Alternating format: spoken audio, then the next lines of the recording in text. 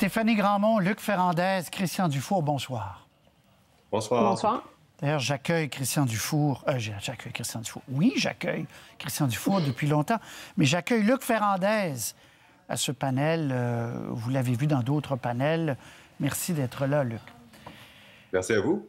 Euh, Monsieur Legault, on a parlé de la violence en début d'émission. Il a dit qu'il allait avoir des, des annonces contre les gangs de rue. On verra.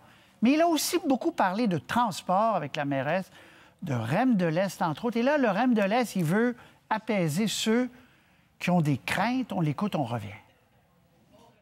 On a été très clair avec Charles Monde, président de la Caisse. On veut que la Caisse travaille avec la Ville de Montréal, travaille avec le gouvernement du Québec. Donc, euh, euh, ils ont présenté un projet. Ce, projet-là euh, doit être bonifié. Moi, je veux dire à ceux, entre autres, qui, qui ont manifesté, là, je vous ai entendu, puis je comprends a des améliorations à apporter au projet de la Caisse. On va le travailler avec la Ville de Montréal, avec le gouvernement du Québec. Est-ce qu'il y a un tournant là, ou en tout cas, il y a une prise de position, Stéphanie, je commence avec vous, un peu différente. M. Legault dit Oh, euh, je, vais, euh, je vais serrer un peu la vis auprès de la caisse. Je veux qu'il soit plus ouvert aux commentaires, comme on dit. Bien, c'est, en tout cas, c'est très agréable d'entendre le premier ministre dire qu'il a de l'écoute, qu'il a entendu euh, les critiques, parce que c'est vrai qu'il y en a beaucoup. Euh, les gens se préoccupent. On voit déjà avec la, première phase ce que ça a donné dans certains quartiers euh, où c'était vraiment une intégration épouvantable dans les quartiers résidentiels. C'est certain que les gens dans l'Est voient ça et ont raison de, d'être préoccupés. Même chose pour le centre-ville. Euh, la mairesse l'avait, l'avait dit aussi qu'elle était préoccupée, mais on sentait pas qu'il y avait une véritable écoute. Et puis, euh, dans la première phase du REM, ben, la caisse de dépôt, on a vu que euh, ils ont, euh, ils sont passés pas mal en bulldozer un peu partout. donc là, c'est bien d'entendre ça dans la bouche du premier ministre parce que oui, il faut que ça s'intègre dans le dans, dans, le paysage urbain. c'est pas nécessairement un, un, un, un tracé aérien. Euh, en béton euh, qui, euh, qui, cadre là, dans, dans ce qu'on on a envie d'avoir aujourd'hui en 2021 dans une ville comme Montréal. Il y a plein d'autres villes comme Paris qui ont plutôt décidé d'enfouir les, les, nouvelles stations de métro qu'ils ont construites. Donc, pourquoi pas ici? Je pense qu'il faut qu'on se penche là-dessus. Mais dans quelle mesure, Luc et Christian, vous avez noté un, vraiment un changement de cap ou bien on est à la marge? il y aura peut-être des détails un peu modifiés, Luc. Bien, il fait preuve de bonnes, de bonnes intentions, mais est-ce qu'il va être capable de livrer ces bonnes intentions-là? Il y a des éléments importants. D'abord, les projets réussis sont des projets qui sont intégrés. On conçoit en même temps l'axe, donc euh, le, projet lui-même, aérien, mais aussi ce qui l'entoure. Où on met le résidentiel, à quelle distance, etc. Euh, et là, on a un axe et CDPQ Infra fonctionne en faisant juste l'axe. Ils n'ont pas un mandat de, faire de la planification du territoire. La deuxième chose, c'est qu'on a un projet très particulier à Montréal à cause de la neige. Il va être surmonté de fils, c'est-à-dire qu'il y a des poteaux sur, sur le tablier de béton, il y a des poteaux et sur ces poteaux-là, donc des caténaires. C'est très différent de tous les projets qu'ils nous ont montrés en photo. J'aurais aimé que, pour, en toute honnêteté, s'ils veulent prétendre à l'intégration... Je ne comprends pas ce que vous dites, Luc. Vous dites, il n'y aura pas des vieux fils comme les tramways à l'époque avec un poteau, là? Oui, oui, il va y avoir ça dans notre, dans notre, sur le REM de l'Est, oui. Ah bon? Ah ben c'est moi qui C'est surprenant parce que toutes les photos, toutes les photos que CDPQ Infra nous montre, c'est des photos sans poteau. Alors, montrez-nous la vraie chose, puis on, va, on, va, parler. On va pouvoir discuter ah, euh, plus euh, précisément. En même temps, euh, puis on a fait beaucoup de panels sur. Parce que c'est un gros projet, le REM de l'Est. C'est combien? C'est rendu à. Euh, Stéphanie, c'est 9-10 milliards, là? Oui, environ 10 milliards. c'est énorme. Puis on voudrait savoir, est-ce que, ça, est que ça en vaut le coup? C'est quoi le rapport euh, coût-bénéfice dans tout ça? Mais parce que, Christian, ce que j'allais dire, c'est qu'en même temps, il y a des gens qui étaient contents parce que pour une fois, les projets avancent. Ben, c'est toujours ça, en fait, le dilemme. Bon, on peut se mettre à consulter, consulter, consulter. On sait qu'aujourd'hui, c'est devenu très difficile de mener à terme des, gros projets parce qu'il y a toujours des, nouveaux problèmes, des objections qui arrivent.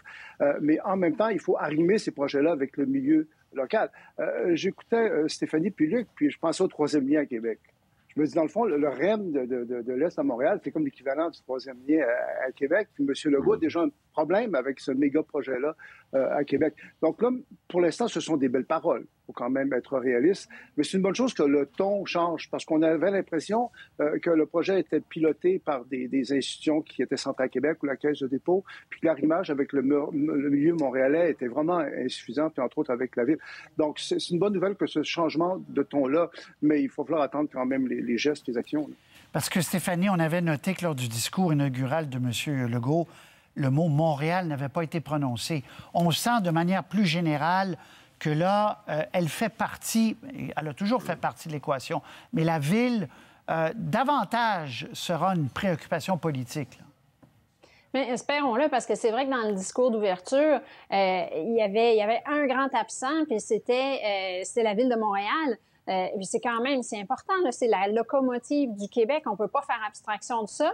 Et euh, c'est vrai que la CAQ, c'est pas, c'est pas, c'est pas à Montréal qu'ils font leur plus grand gain politique, mais euh, il faut quand même rebâtir des ponts. Je pense que la mairesse de Montréal, Valérie Plante, qui a été réélue, a aussi ce devoir-là de tendre la main euh, et, et, de demander euh, au premier ministre bon, est-ce qu'on peut travailler ensemble? Et puis le premier ministre a, a, avantage aussi à aller dans ce sens-là. Euh, parce oui. qu'il en va pour. C'est dans l'intérêt de toute la province au mmh. complet. Oui. Et, et, Allez juste Christian. une petite chose. Il ne faut pas oublier que Mme Plante vient d'être réélue avec une majorité substantielle. Donc, elle a une nouvelle légitimité politique là, euh, par rapport à François Legault. Jusqu'à présent, on avait l'impression que c'était une junior par rapport à François Legault. Je trouve que le contexte politique a quand même changé pour la peine. Luc, est-ce que vous voyez une différence ou c'est. Euh, est-ce que vous voyez une différence dans, la, dans, dans le jeu politique là, qui commence? Oui, tout à fait, tout à fait. Euh, D'abord parce qu'elle-même a été élue avec une marge époustouflante, d'une part. D'autre part, parce qu'elle est, à, elle est à, au centre de deux autres villes, Laval et Longueuil, qui ont des préoccupations semblables et ils vont pouvoir se, euh, se lier euh, pour aller chercher des, euh, des, euh, des gains euh, pour Montréal et sa région. On, on, le sait dans le domaine du logement, très important, dans le domaine de la sécurité, dans le domaine des transports. Longueuil aussi a un énorme projet euh, de est-ce que ça va être un REM, euh, sans doute un REM, euh, mais du moins un axe structurant. donc, on a des, il y a des projets semblables, ils vont pouvoir se donner la main et exiger, faire une sorte de front commun avec, fa pas face à Québec, pas comme si c'était dans une opposition, mais, mais oui, oui, avec je comprends. Très bien. Oui. Avez-vous vu, si vous étiez en début d'émission avec nous, vous avez vu ces images de papillons, de, de contes pour enfants? On veut créer des lieux de vaccination, mais vraiment très différents, vous les voyez. Des papillons par-ci, des petits personnages par-là. On va monter la température pour pas qu'il fasse froid du tout. Il y a des télévisions. Est-ce que c'est ce qu'il fallait faire, Stéphanie, d'après vous, pour attirer les enfants, mais les parents surtout dans ces centres de vaccination qui vont ouvrir incessamment? Bien, je pense que c'est sûrement très bien, mais il y, a, du travail à faire parce qu'il y a seulement 60 des parents euh, qui, ont l'intention de faire vacciner leurs leur euh, petits, et ça, c'est quand même peu. Euh, je pense qu'il faut marteler un message clair, il faut répéter. Le comité consultatif national le vendredi a fait son rapport, a dit que oui, il faut faire vacciner les enfants, c'est souhaitable, parce qu'il y a encore des gens qui se demandent puis qui se questionnaient probablement à juste titre, là, à savoir est-ce que ça vaut la peine puisque les enfants sont pas tant malades? Mais oui, il y en a qui peuvent l'être beaucoup. Euh, on a vu des reportages là sur un, un jeune qui s'est retrouvé à l'hôpital euh, après que son professeur d'art plastique là, dans, le, dans le quartier Rosemont avait infecté à peu près toute l'école. Donc, il y a des enfants qui sont très malades. Il y a des écoles qui ferment à cause de ça. Donc, ce sont des dommages collatéraux, si on veut. Mmh. Alors, oui, il faut, euh, il faut que le message passe. Il faut qu'on prenne tous les moyens, y compris dans les quartiers moins favorisés, parce qu'on sait qu'il y a, euh, il y a un écart, là, euh, dans, la, dans, la, dans le succès de la vaccination. Ouais. Et c'est triste de voir que dans les quartiers moins favorisés, euh, les gens sont moins vaccinés.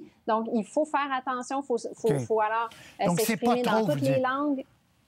Ce n'est pas trop en faire que, que d'élaborer ces salles et tout ça. Il faut, il faut tenter le tout pour le tout, dites-vous. Absolument. Très bien. Luc? Ben moi, je trouve ça mignon comme tout. Les enfants vont être heureux, c'est super, mais c'est pas ça qui va convaincre les parents d'aller envoyer, d'envoyer leurs enfants à la vaccination. Le 60% de parents qui ont décidé déjà d'envoyer les enfants se faire vacciner, il correspond à peu près au pourcentage d'adultes qui avaient dit qu'ils se feraient vacciner avant la campagne de vaccination. Et puis, ce pourcentage-là a beaucoup augmenté quand les gens ont vu qu'il n'y avait pas d'effet secondaire, quand les gens, que ça se passait bien. Je pense que c'est aussi ce qui va se passer avec la vaccination des enfants. Christian. Ben, je trouve ça extrêmement délicat, la vaccination des enfants. Euh, c'est comme l'autre extrême. Vous savez, on, a parlé euh, longtemps du fait qu'il y avait des travailleurs de la santé qui refusaient d'être vaccinés, même s'ils avaient le, droit de refuser. C'était difficile à comprendre. Comment ça se fait qu'ils refusaient d'être vaccinés? Moi, je comprends très bien les réticences de beaucoup de parents euh, de, voir leurs enfants vaccinés. On, on, comprend ça. En fait, ce sont des enfants. Et puis les enfants n'appartiennent pas à l'État. Les enfants, quand même, sont sous la responsabilité des parents. Donc il faut faire très attention là-dedans. Il faut être très humain. Euh, il faut aussi réaliser qu'on est beaucoup dans une idéologie sanitaire. Moi, je le dis tout le temps, mais je pense que c'est de plus en plus le cas. Et moi, ça me désole. On est dans le risque zéro, l'idéologie sanitaire. Plus personne ne conteste jamais rien. Bon, semble-t-il qu'il faut faire vacciner les enfants mais il faut faire vraiment très, très, très attention. Moi, il y a une idéologie, là, je ne vous cacherai pas, qui commence à me déprimer beaucoup. Et on a. Euh, espèce de consensus. On, est, on, est, on est très loin. Pensons aux réflexions qu'on avait il y a juste un an, un an et demi. On est à des années-lumière de ça. Il y a comme une espèce d'état sanitaire qui s'est installé et puis il faut s'incliner. Parce que demain, ça sera présenté, euh, Stéphanie et Luc, comme étant la dernière pièce dans le grand plan du retour à la normale en 2022. Là. Bientôt même, Luc, qu'on nous a dit. Il va rester quelques poches de résistance. On a vu des statistiques par tranche d'âge et par région. Il y avait environ 10 combinaisons tranche d'âge région là où on avait des taux de moins de 50 ça, ça, va rester. Mais si les enfants sont vaccinés, on a une couverture mur à mur, une des meilleures au monde. Et je comprends ce que Christian dit. on aurait besoin de plus de débats, sans doute. Mais là où il y a résistance à la vaccination, dans d'autres pays, euh, Hollande, Allemagne, etc., on voit que ça se passe pas très bien non plus. Là. Alors moi, je me désole pas qu'on soit dans, sous, cette, idéologie sanitaire, pour reprendre les mots de M. Dufour. Stéphanie, conclusion là-dessus. Ben, moi, je pense que tant mieux si, euh, si les gens sont, euh, sont parmi les plus vaccinés euh, ici au Québec. Et puis, je comprends qu'il faut, il faut pas y aller en braquant les gens. C'est, c'est pas une bonne façon de, d'arriver à, à accroître la vaccination chez les enfants, évidemment. Mais oui, euh, plus on est vacciné et puis plus on, peut revenir à une vie normale rapidement. Et, tout ça fait en sorte que oui, au Québec, à, Montréal, on a eu euh, un, rebond économique qui a été important. C'est pas à négliger non plus parce qu'il y a des gens qui souffrent quand, euh, quand l'économie va mal. Qu'est-ce que vous pensez? On va aller vite, vite, vite, tour de table très rapide là-dessus parce que je vais vous parler de Nadeau-Dubois après.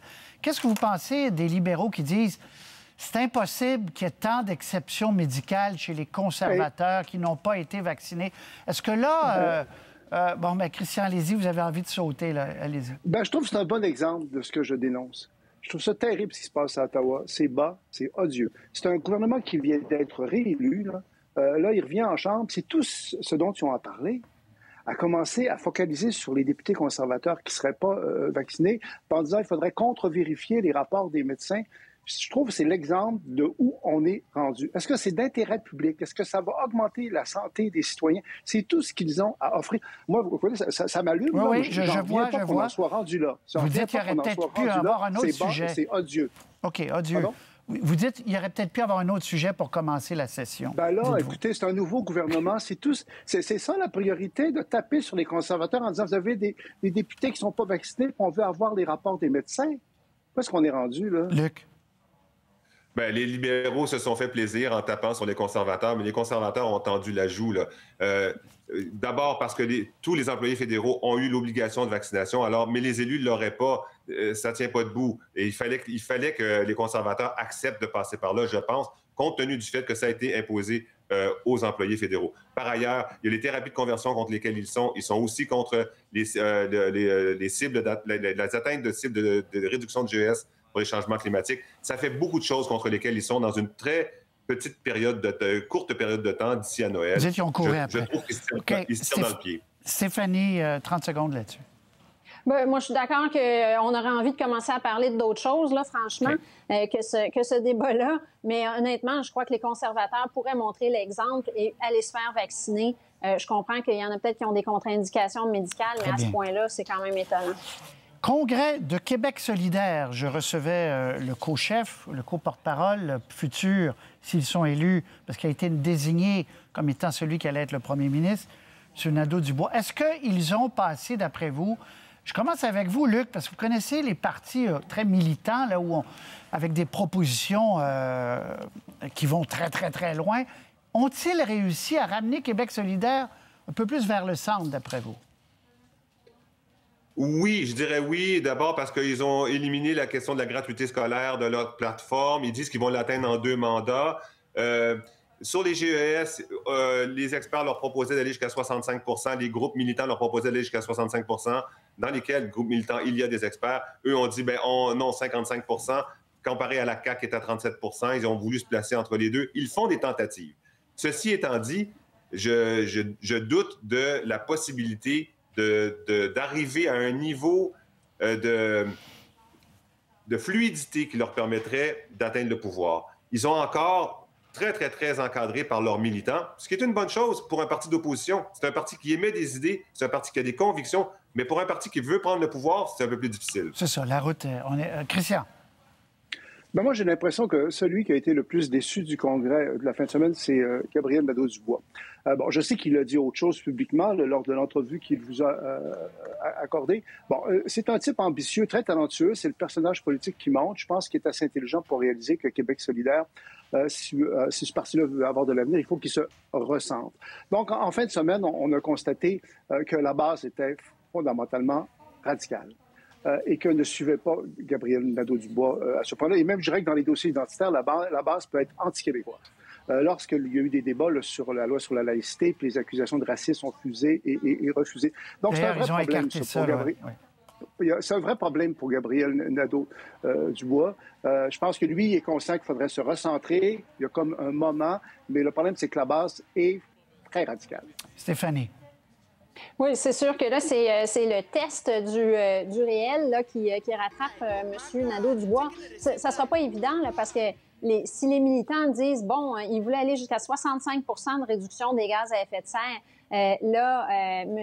Nadeau-Dubois a réussi à amener ça à 55 mais ça demeure bien au-dessus de, de, ce que la CAQ veut, qui est peut-être pas assez ambitieux. Tout de même, il faudrait qu'on retire des routes euh, tous les véhicules à essence, qu'on enlève toutes les, émissions de gaz à effet de serre de l'agriculture. Comment on va y arriver? En huit ans, c'est quand même euh, c'est quand même difficile à croire. Alors quand les gens vont se rendre compte, les électeurs, de ce que ça signifie, quand on va mettre des chiffres derrière les, euh, les, belles les belles idées, je pense que ça va faire un peu mal. Hein. Stéphanie, Luc, Christian, merci beaucoup. Bonne soirée. À très bientôt. Bonne soirée. Au revoir. Au revoir.